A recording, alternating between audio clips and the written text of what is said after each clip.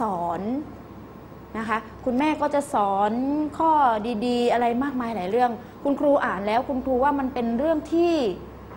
ที่เหมาะกับวัยของพวกเราทุกคน แล้วก็เป็นเรื่องที่น่าอ่านมากๆ นักเรียนอ่านแล้วได้ความสนุกสนานแล้วก็ยังได้ความรู้ด้วย เช่นเรื่องเนี้ยกิ้งกาข้ามถนนอะไรพวกนี้มันเป็นเรื่องที่แบบว่า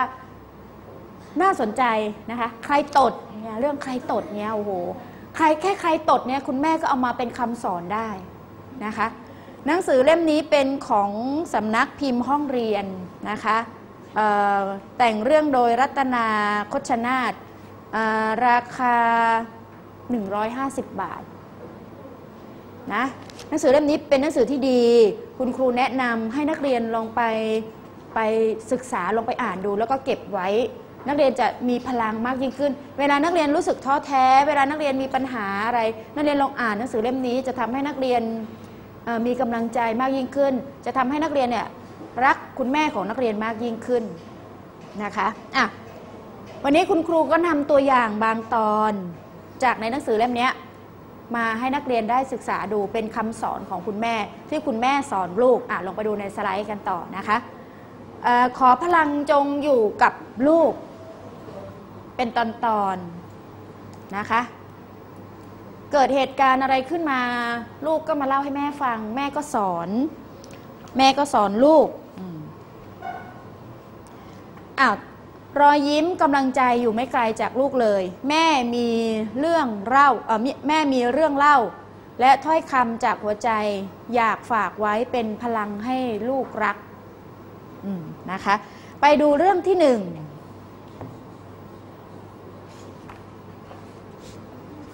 ไปดูเรื่องที่หนึ่งเรื่องอะไรนะเรื่องใครตด แค่เรื่องตดตดคืออะไรคำสุภาพคืออะไรอ่าผายลมใช่ไหมเรื่องนี้ถามว่าอ่าเรื่องใครตด แล้วคุณแม่สอนอะไรลูกอะลองดูนะคะอ่าวันนี้ที่โรงเรียนเมื่อคุณครูถามว่าใครตด ทุกคนในห้องต่างเงียบกริบหมดเลย ไม่มีใครพูดเลย ผมก็พยายามทำเป็นไม่รู้ไม่ชี้ เจ้าตัวคนที่ตดเนี่ยก็ทำทำนั่งเฉยทำเป็นไม่รู้ไม่ชี้ แต่แล้วเสียงแม่ก็ดังขึ้นมาในหัว จงยอมรับในสิ่งที่ตัวเองทำอย่างกล้าหาญเกิดเสียงตดขึ้นมา ปุ้งกลางห้อง คุณครูถามว่าใครตด เงียบไอคนที่ตดก็ทำไมคะ นั่งเฉยไม่ยอมรับเผอิญนึกถึงคำสอนของคุณแม่ คุณแม่เคยบอกว่า จงยอมรับในสิ่งที่ตัวเองทำอย่างกล้าหาญแม่สอนไว้นี่นะผมเลยยกมือขึ้นอย่างอายๆแล้วก็ตอบว่าผมเองครับเพื่อนๆหัวเราะกันใหญ่ แม่รู้เรื่องเข้าก็หัวเราะด้วยความเอ็นดู แล้วก็บอกลูกว่าลูกทำถูกแล้ว อันนี้ก็เป็นคำสอนของคุณแม่นะคะ แม่สอนว่ายังไงคะจงยอมรับในสิ่งที่ตัวเองทำอย่างกล้าหาญ จงยอมรับในสิ่งที่ตัวเองทำอย่างกล้าหาญนักเรียนทำอะไรต้องยอมรับนะคะ ต้องยอมรับ ห้องเราเนี่ยเวลาเกิดมีกรณีแบบเนี้ยใครตดขึ้นมา ทุกคนปิดจมูกหมด ถามว่าใครตดเคยมีใครยอมรับไหมไม่เคย ไม่เคยมีใครยอมรับนะคะ คุณแม่สอนว่าจงยอมรับในสิ่งที่ตัวเองทำอย่างกล้าหาญนะคะอ้าวเรื่องที่หนึ่งอะ คำสอนของคุณแม่เรื่องที่สองเรื่องอะไรคะอ่าเรื่องภายในกับภายนอก เจ้าลูกตัวแสบ เจ้าลูกตัวแสบล้อเพื่อนผู้หญิงคนหนึ่งว่ายายขี้เลยายตัวดำเหมือนอีกา แม่เห็นเข้าจึงดุและขอโทษให้ขอโทษเพื่อนคนนั้น แล้วก็บอกลูกว่า อีกาที่เห็นว่าตัวสีดำเนี่ยผิวของมันไม่ได้ดำเอ่อ ผิวเนื้อของมันไม่ได้ดำปิดปีเหมือนสีขนนะ ส่วนหงส์ตัวสีขาวเนี่ยผิวเนื้อของมันกลับมีสีออกคล้ำๆ เพราะฉะนั้นลูกอย่าตัดสินคนแต่ภายนอกจงมองให้แจ่มชัดภายในจิตใจไหมเหตุการณ์นี้แม่เห็นลูกเนี่ยชอบล้อเพื่อนล้อเพื่อนคนที่ตัวดำๆล้อเพื่อนว่าไงคะ ตัวดำเหมือนยายขี้เลยายตัวดำเหมือนอีกา ไหมเปรียบเทียบว่าอุ้ยเนี่ยขี้เลตัวดำเหมือนอีกาเนี่ยคำพูดของลูกแค่นี้แม่ก็สอนลูกว่า อีกา ตัวมันทำไมคะ ตัวมันดำไหมตัวมันไม่ดำแต่ที่ดำของมันคืออะไร คือขนขนของมันต่างหากที่ดำแต่ตัวข้างในจริงตัวของมันแล้วมันไม่ได้ดำแต่ไอหงเนี่ยหงเนี่ยนะคะ สีมันทำไมเอ่ย สีขาวสวยงามแต่ภายในข้างมันเป็นยังไงตัวมันเป็นยังไงคะตัวมันสีคล้ำๆใช่ไหมคุณแม่ก็เลยสอนว่า เวลาเราจะมองอะไร อย่าตัดสินแต่ภายนอก ให้ดูดูที่ดูที่ไหนคะภายในโอ้ยคนนี้มันรูปชั่วตัวดำผมหยิกตัวดำไม่ครบด้วยหรอกอืมคุณแม่สอนว่าให้ดูที่ภายในนะคะ ภายในที่นี้คือภายในไหน ภายในจิตใจนะคะไม่ได้ดูคนแต่เพียงภายนอกอย่างเดียวอะเรื่องที่สองอะอีกหนึ่งเรื่อง เรื่องอะไรคะ ฟ้าหลังฝนเป็นยังไงเรื่องฟ้าหลังฝน แม่วัยชราผู้มีสายตาพร่ามัวมองอะไรแทบไม่เห็น ทุกครั้งที่เธอได้ยินลูกหลานบ่นถึงเรื่องร้ายๆที่ผ่านเข้ามาในชีวิต เธอมักจะบอกว่า ตอนนี้ฝนกำลังตก อดทนรออีกหน่อย แล้วจะเห็นฟ้าหลังฝนที่สดใส เวลาเหนื่อย เวลาใดเนี่ยลูกๆ ก็จะมาบน่นบ่นอุ้เหนื่อยเหลือเกินทำนู่นไม่ได้ทำนี่ไม่ได้ เหนื่อยเครียด คุณแม่ได้ยิน คุณแม่บอกว่าตอนนี้ฝนมันกำลังตก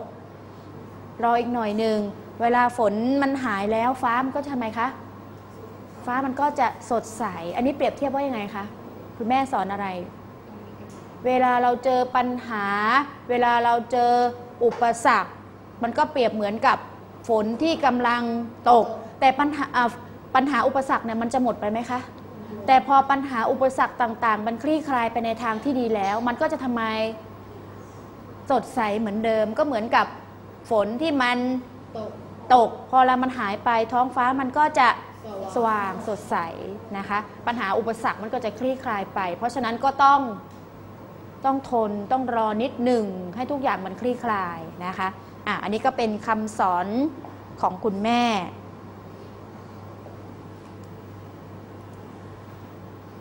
เรื่องอะไรคะรองเท้ารองเท้าขี้เหร่นี่มันเป็นคำสอนได้ยังไงอะรองเท้าขี้เห รองเท้านักเรียนของลูกเก่าขาด ลูกก็ร่ำร้องให้แม่ซื้อรองเท้าคู่ใหม่สวยๆให้ ลูกก็เลยบอกว่าเอาหนังสีดำเป็นมันวาวแบบในทีวีนะแม่ รองเท้าขาดก็บอกให้แม่ซื้อให้ใหม่นะคะ วันต่อมาแม่คุณแม่ก็ยื่นกล่องรองเท้าให้ลูก รองเท้าคู่ใหม่เป็นเพียงรองเท้าที่ขายตามตลาดนัด เพราะแม่มีเงินซื้อได้เท่านี้ ลูกผิดหวังมากร้องห่มร้องไห้ ไม่อยากใส่ไปโรงเรียน และเรียกมันว่ารองเท้าขี้เลอยากจะได้รองเท้าดีๆ เหมือนที่โฆษณาในโทรทัศน์มันวาว แต่คุณแม่ไม่มีตังค์คุณแม่ก็ไปซื้อรองเท้าถูกๆ ตามตลาดนัดให้พอลูกเห็นก็ทำไมคะไม่อยากใส่ แล้วก็เรียกมันว่าเจ้ารองเท้าขี้เลนะคะ แม่ชาวไร่ผู้เติบโตมากับความยากแค้นก็เลยบอกกับลูกว่า จงเห็นคุณค่าของสิ่งที่เรามี บางคนอาจไม่มียิ่งกว่าเรา คุณแม่สอนว่า จงเห็นคุณค่าของสิ่งที่เรามี บางคนอาจไม่มียิ่งกว่าเรา ตอนนี้เรามีอะไรคะ มีรองเท้าคู่นี้เราก็ต้องเห็นคุณค่าของมันยังมีอีกหลายคนเลยที่เขาไม่มีนะคะ ลูกมองรองเท้า ทั้งสองข้างมีเชือกฟางผูกตรึงหูรองเท้าที่ขาดเอาไว้แน่นเห็นไหมลูกก็เลยต้องมองรองเท้าคู่เดิม เพราะคุณแม่สอนว่าจงเห็นคุณค่าของสิ่งที่เรามี บางคนอาจไม่มียิ่งกว่าเรา เพราะฉะนั้นอันนี้ก็สรุปง่ายๆก็คือ คุณแม่สอนว่าให้พอใจในสิ่งที่เรามี เรามีอะไรเราก็จงภูมิใจ เพราะบางคนเขาทำไมคะ ไม่มีเลย เรามีแค่นี้ก็ถือว่าดีแล้วนะคะอะ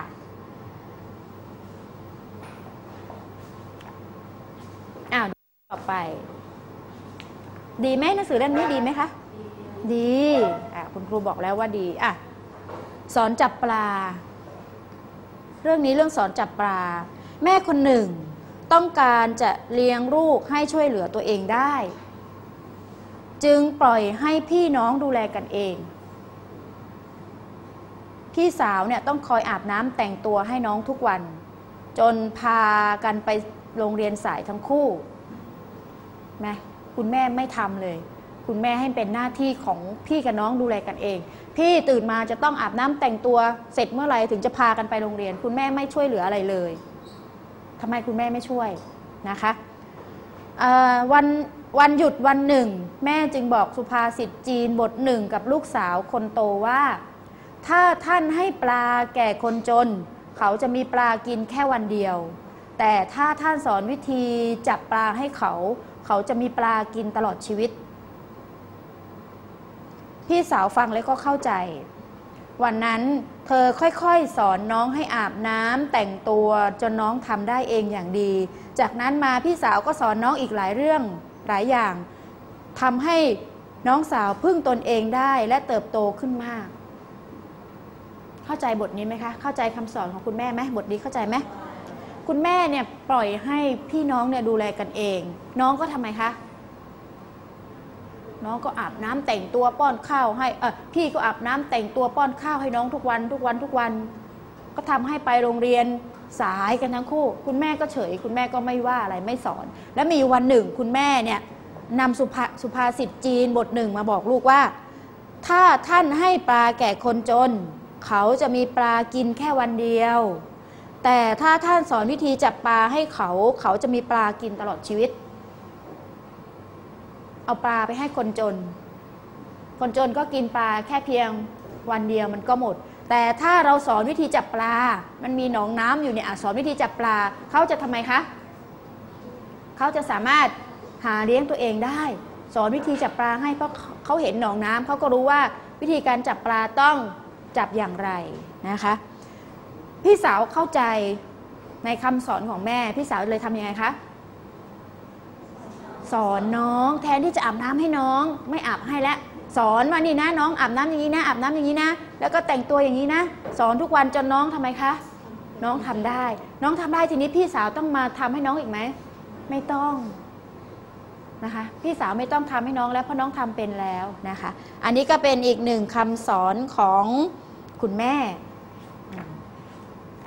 นักเรียนนึกไว้นะ คุณแม่นักเรียนสอนนักเรียนอะไรบ้าง เดี๋ยวจะให้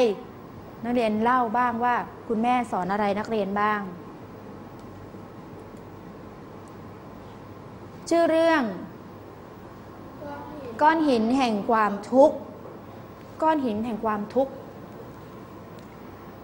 เด็กชายคนหนึ่งนั่งเศร้าสร้อย นั่งร้องห่มร้องไห้อยู่ริมน้ำชั่วขณะหนึ่งในความเงียบสงบ เขาระลึกได้ถึงคำที่แม่เคยบอก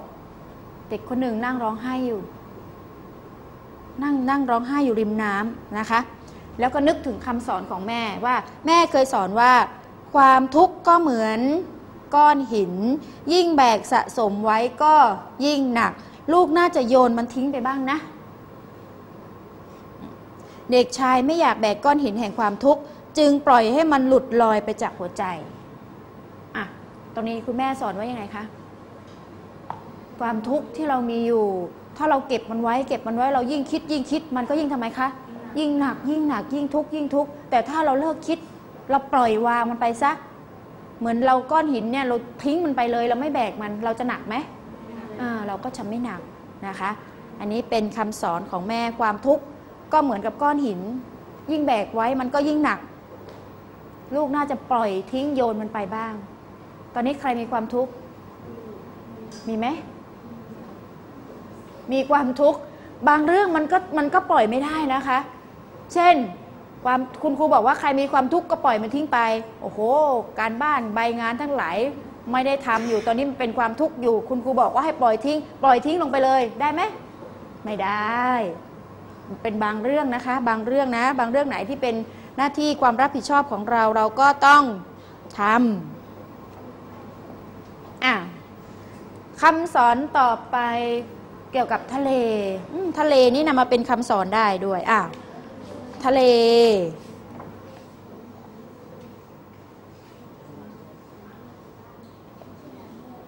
ครั้งหนึ่งนะคะ ครั้งหนึ่งเนี่ยแม่พาลูกชายลงเล่นน้ำทะเลยามค่ำคืน พื้นแผ่นน้ำเงียบสงบและกว้างไกลสุดขอบฟ้า แม่บอกกับลูกว่า แม่พาลูกไปเล่นน้ำทะเล ขณะที่เล่นน้ำทะเลคุณแม่ก็สอนด้วย แม่บอกลูกว่า เพราะทะเลกว้างใหญ่จึงรองรับแม่น้ำทุกสายได้ไม่สิ้นสุด ขอให้ลูกเนี่ยมีจิตใจที่เปิดกว้าง เช่นทะเล ลูกก็จะเรียนรู้และรับสิ่งดีๆ ได้มากมายไม่รู้จบเช่นกัน แม่บอกว่าทะเลนี่มันทำไมคะ มันกว้างนะมันเปิด เปิดรองรับแม่น้ำทุกสายเลย แม่น้ำสายไหนจะไหลเข้ามาทะเลทำไมคะรับหมดเลย รับหมด แม่ก็เลยบอกว่าออยากจะให้ลูกเนี่ยใจลูกกว้างเหมือนกับทะเล ให้ใจลูกกว้างเหมือนกับทะเลพูดอะไรก็ทำไมคะให้รับรู้ให้รับฟังไว้นะคะ ลูกก็จะได้เรียนรู้และรับสิ่งดีๆ ได้มากมาย ไม่รู้จบ บางคน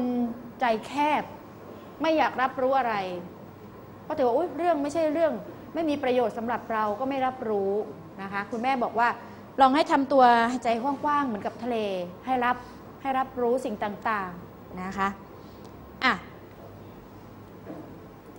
เรื่องอะไรเอ่ย เรื่องอะไรนะอ่าเรื่องหน้าหัวเราะ เรื่องหน้าหัวเราะอ่าฮ่าฮ่าฮ่าเห็นไหมภาพและเสียงหัวเราะของเพื่อนๆยังดังกึกก้องอยู่ใน หัวใจของเด็กชายคนหนึ่งที่เกิดเรื่องน่าอายขึ้นโหเด็กคนนี้แบบอายมาก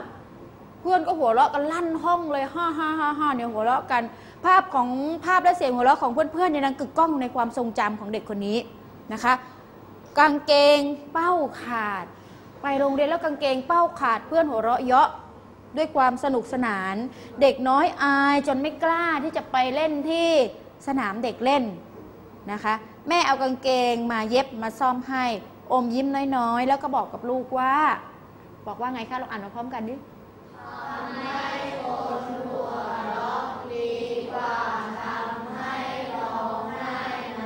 นักเรียนว่าจริงไหมคะการที่เราทำให้คนหัวเราะ ดีกว่าการที่เราทำให้คนร้องไห้นะไอ้แค่กางเกงเป้าขาดเนี่ยเราอายนิดหนึ่งแต่คนอื่นก็ทำไมคะ คนที่เขาหัวเราะนี่เขาแสดงว่าเขามีความความสุขใช่ไหมคนที่หัวเราะได้แสดงว่ามีความสุข ถึงแม้ว่าตัวเราจะอายนิดหนึ่งแต่ว่าคนอื่นเขาก็มีความสุขนะคะ คุณแม่สอนว่าทำให้คนอื่นเขาหัวเราะได้เนี่ยดีกว่าทำให้ร้องไห้นะใช่ไหมจากที่เราอายอายก็ทำให้ตัวเราทำไมยิ่งขึ้น มีความสุขตามเพื่อนไปด้วยนะคะ อันนี้คือคำสอนดีๆของคุณแม่ที่อยู่ในหนังสือ ขอพลังจงอยู่กับ ลูกนะคะออนุญาตให้มายืมไปอ่านได้นะยังมีอีกหลาย ๆ เรื่อง เช่น เรื่องหลอดไฟแห่งความพยายาม มดแดงแผลงฤทธิ์เส้นชัย เรื่องเส้นชัยนะคะเรื่องอกบผู้ชนะ ยิงเข้าประตู กิ้งก่าข้ามถนนไหมมีหลายเรื่องเลยน่าสนใจนะคะ มีเรื่องอีกหนึ่งเรื่องมาให้นักเรียนได้ลองอ่านดู นักเรียนเห็นไหมว่า สิ่งที่คุณแม่สอนทำไมคุณแม่จึงสอน เพราะคุณแม่รักลูกแล้วก็ต้องการให้ลูกเนี่ยใช้ชีวิตอยู่ในสังคมได้อย่างมีความสุขนะคะ ต้องการให้ลูกใช้ชีวิตอยู่ในสังคมได้อย่างมีความสุขอะคุณครูมีเรื่องหนึ่งเรื่องมาให้นักเรียนลองอ่านดู เรื่องนี้ชื่อเรื่องว่า อย่าพลากจาก